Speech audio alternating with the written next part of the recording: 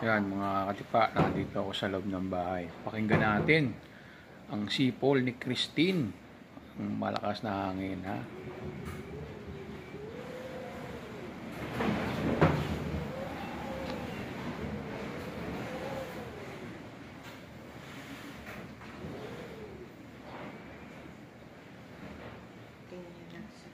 Ayun.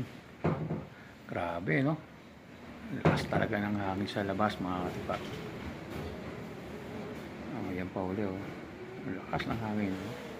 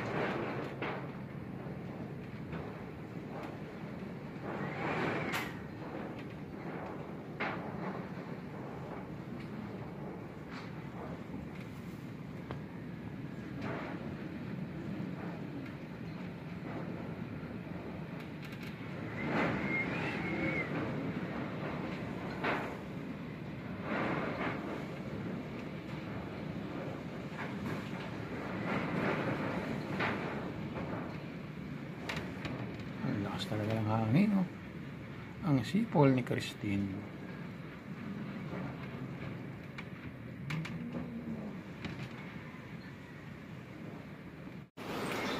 Ayan mga tipo, sa lakas ng hangin, sa likod ng bahay namin, oh. nakita niyo yan, oh.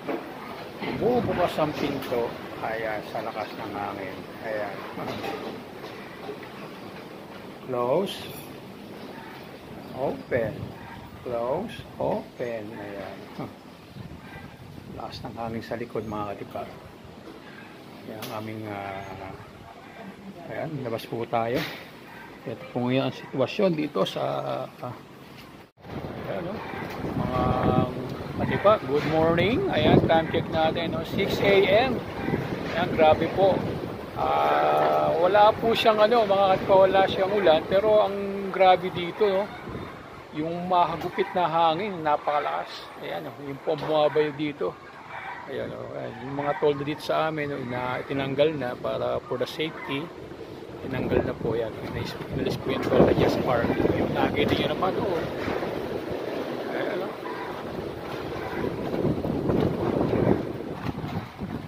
Napakalakas ng hangin.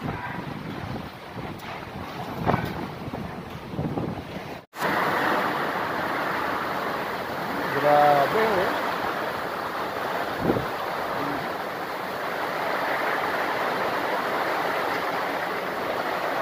Talagang ah, grabe ang hangin at ulan.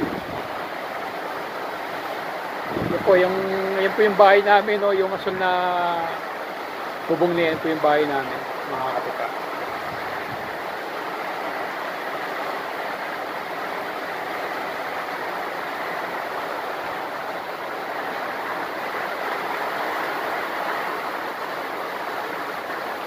Ayan, alas 4 pa, na madaling araw nagsimula itong gantong ah, hangin at ulan. Pero ngayon, mag 2.30 ng hapon, magdo 12 oras, oras na. Nakaganto ang ng panahon.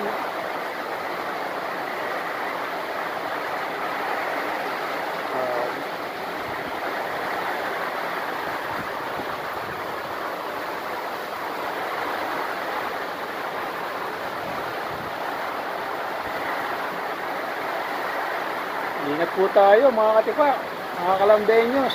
Kalambenyos, ingat po tayo. Ay, grabe oh. Umiikot ang hangin.